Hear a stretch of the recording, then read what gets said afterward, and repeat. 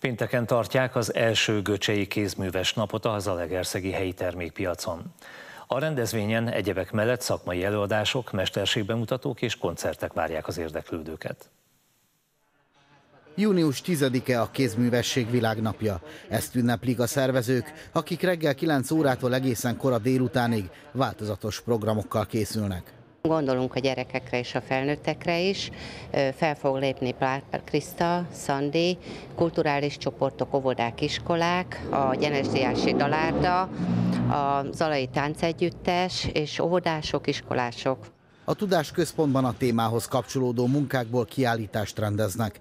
Emellett a Hívizi és a Szécsi szigeti termelői piacok közreműködésével vásár nyílik. A komplexum annak ellenére, hogy még csak két hónapja adták át, nagy népszerűségnek örvend.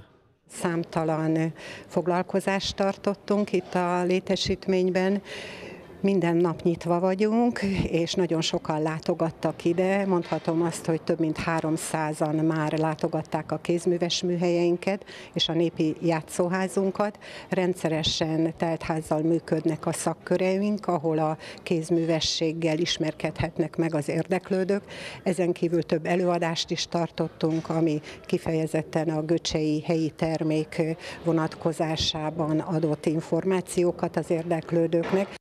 A hétvégén a piacon epernapok is lesznek. Noha a háromnapos rendezvény csatlakozik az első göcsei kézműves naphoz, nem változtatnak a hagyományos tematikán. Szombaton 9-től 11 óráig várjuk az ide látogatókat egy speciális programra.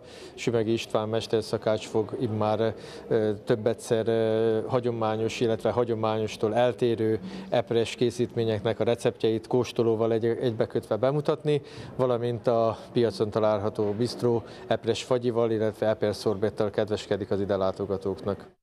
Az érdeklődők pénteken, szombaton és vasárnap is kedvezményes áron vásárolhatnak a gyümölcsből.